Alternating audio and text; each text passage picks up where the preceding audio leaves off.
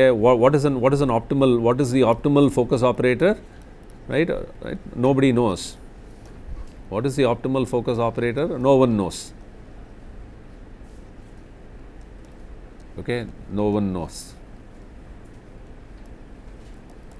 Okay, but then you know what I mean. If you if you ask yourself, right, you might say that I, mean, I should still have a way. I should still have some way by which by which actually I should be I should be able to use all these all these operators together. Is, is there a possibility to, to kind of use it? Correct. You can always ask that thing. No. See, right now it looks like you just apply an operator, you get some d bar, use that operator everywhere, same operator, and then you have a depth map. But then, right, since we know that there is not just one operator, there are so many of them, and also, right, even let's say within each operator, there are, there is this kind of a variation. For example, if you, if you look at some modified Laplacian, we could have taken an average uh, by taking n equal to 0. That means we simply we simply look at the modified Laplacian value at that pixel or we could have taken n equal to 1 which means we sum up the values in a kind of a 3 cross 3 neighborhood. We could have taken n equal to 5 then we will get a 5 cross 5 neighborhood and you will notice that for each one of them right you will get you know you will get a value of d bar which could be changing. For example, if I take n equal to 0 it might it might say that right your you see d bar is this. If I take if I take uh, if I take an average of 3 cross 3 values of ml it may say that your d bar is now this. You take a 5 cross 5 it may say that you are see right d bar is something else. Now which one of these should I pick? I do not know a priori which one of these is correct.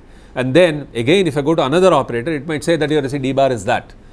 Now it could be that it could be that right, they may not be too far away from each other but there are these you see multiple multiple values that will show up if you try to use different operators or even the same operator applied at applied with, with let's say varying sizes and so on right. So you can see that right, you almost can can get a sort of you know a cloud of cloud of values for a d bar. For at each pixel by the way I am talking about cloud of values for for a d bar. Correct? You know that there is a framework called which is actually a tensor voting framework. Okay, for those of you who are interested you can go read about it. There is something called a tensor voting framework. This is not this is not anything related to uh, this problem or anything right? Tensor voting has been around for a long time and this kind of a voting framework right this is based upon what are called what is called a gestalt gestalt principles of human perception. Okay so so this so this kind of a tensor voting framework is something that will actually that will actually mimic mimic this okay human perception. Okay what that actually means is so you know there are about uh, 6 7 of these principles.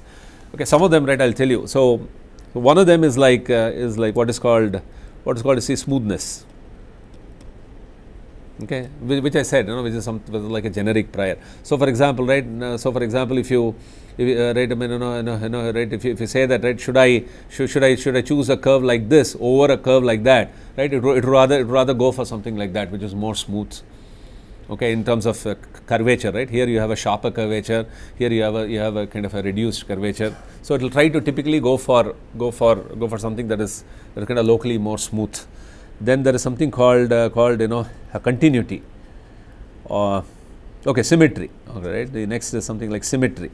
So what this means is that right i mean if i have uh, right i mean think of think of something like this right if i have on this side and on this side right i have this then then humans typically would would, uh, right, would tend to think that there should have been something like that so the symmetry is, is something that, that we sort of inherently believe that believe it exists in the world Okay, I mean, see, right, it doesn't mean that you blindly enforce this. Tensor voting is smart.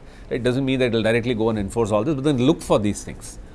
Okay, it's a framework that will sort of account, that will, that will try to incorporate all these factors into it.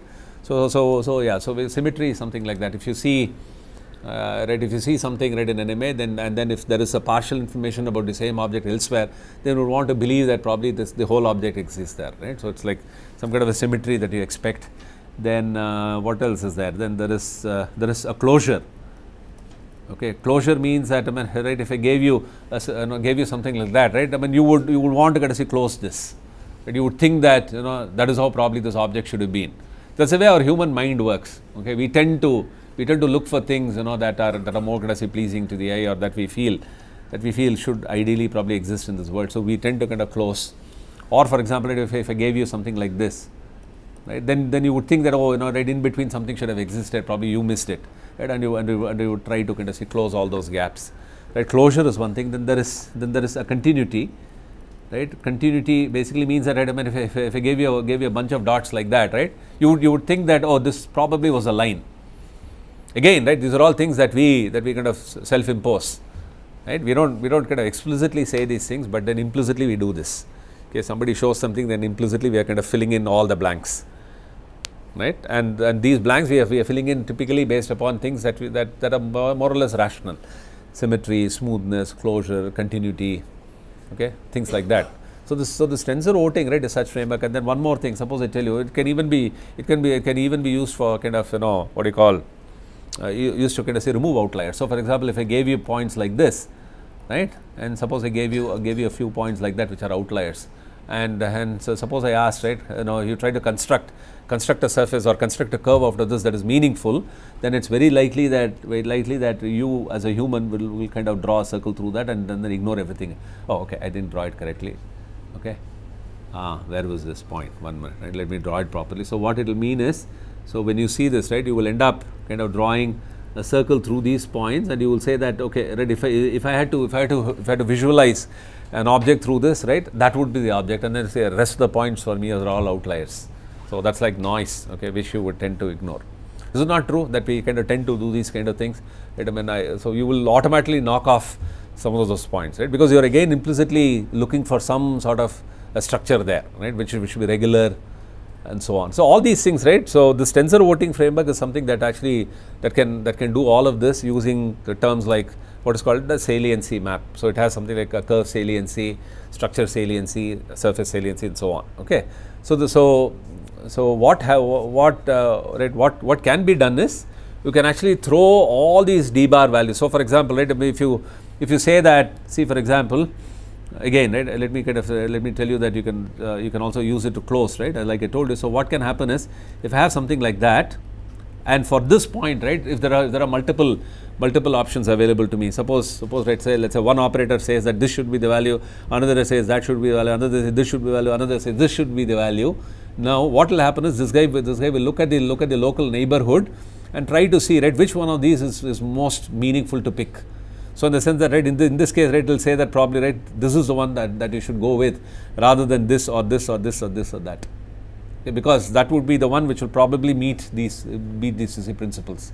So, the locally smooth right it does not introduce introduce curvature that is that is very harsh okay? And then you know it looks like there is a there is a, there is a symmetry going on. So all that it will automatically incorporate to be able to to be able to pick the one that it thinks is most suitable. Okay so what has been done is so this so the tensor voting framework, right? I don't I don't have that paper. One of my actually MTech students, right? He did this work. So we actually showed that right, you don't have to stop with one operator. Even we do not know which is the best operator, but we said at least you have a you have a say mechanism by which you can throw in multiple operators right into the scheme, and for every everything right you can you can look for say multiple multiple values of d bar, and then use the neighborhood information, and then do this kind of a tensor voting framework in, you in order to be able to pick the final value. So, all that, so right, I mean, we, we are not interested in going into the full details and all of that. Just saying that don't think that, uh, well, we are stuck with just one operator or something, right? If, you, if, you're, if, you're, if you're, you know, willing to put in more work, then we can actually accommodate more operators, right? We don't have to we don't have to shy away from that. We can take as many operators as we want. We can operate them at as at as many sizes as we want. Come up with come up with all these right different votes for a, for a, this one particular value, and then see right which which one of them is most likely. Okay, so basically this is all possible. Uh, so right, let me just talk about the pros and cons of SFF. Okay. So the pros and cons.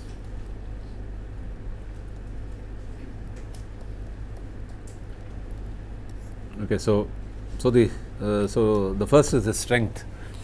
The this the strength is that it is it is it is very fast. It is very fast. I mean implemented in its fundamental form, in the basic form. Okay, not with all this tensor voting and all that. Okay? It is very fast. I mean, not with the parallax kicking in and all that. Okay, uh, very fast and parallelizable, parallelizable. Okay, so it means that you can compute d bar independently of, of let's say other locations, right? You can run this entire operator, do the interpolation everywhere independent of the, of the other. So if you have a GPU or something with multiple cores, then you could just run it all in parallel. Then two, very important, it does not assume oh okay these are advantages of course it does not assume knowledge of the PSF. What does this stand for a PSF? Eh? Correct, right? a point spread function. So, it means that so, so we do not so nowhere did we assume that the underlying blur is actually a Gaussian and so on. The one that we simulate for you is a Gaussian because that is what we can do at uh, in the lab, but I am saying nowhere in these in this ring or in this uh, whatever right that Baba's face or that uh, lion thing and nowhere did we assume anything right. So, all that all that we say is where does this point appear in focus that is all we are interested in we are not interested in knowing what could be the Gaussian is it Gaussian is it non Gaussian we, we do not care. It's also that way it's, it's a very good thing. So, right it does not it does not assume anything about the knowledge of the point spread function. Then 3 mm, these two are obvious ones uh, it can yield an estimate of the focused image using of course d bar estimate of the focused image of the underlying focused image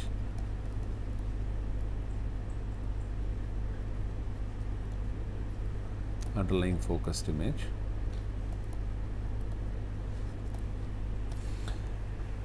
then yeah I think these are the main ones. The ones right that uh, so so these drawbacks right if you look at it the weaknesses weaknesses are there okay. So, one is uh, the one weakness is uh, it can go wrong at places at places with less texture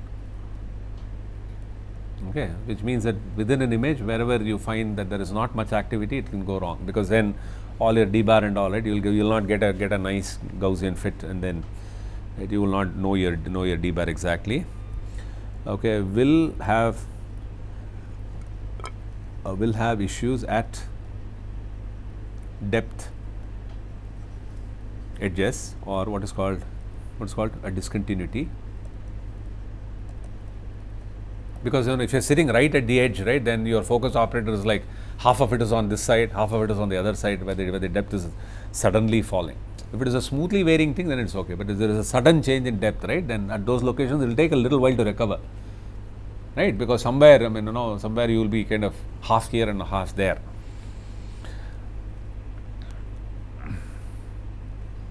and then the and then of course choice of delta I mean that is not a weakness. Okay choice of delta f I will just put this here choice of uh, delta d right? So somebody okay this should be greater than DOF okay they are not equal to okay at least this.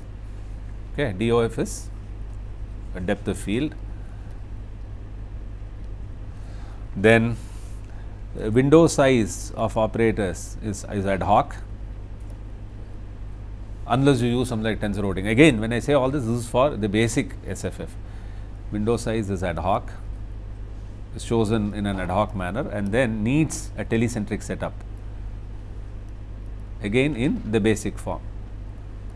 This, this should have come in fact, uh, in fact no, right in the beginning. Okay. So, some advantages, some drawbacks, right, and uh, and that is it right as far as as far as this method is concerned